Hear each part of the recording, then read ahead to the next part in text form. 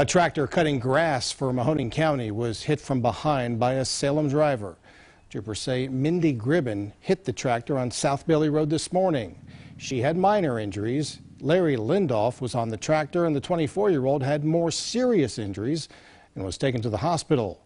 Gribben was cited for distracted driving and not maintaining a clear distance ahead.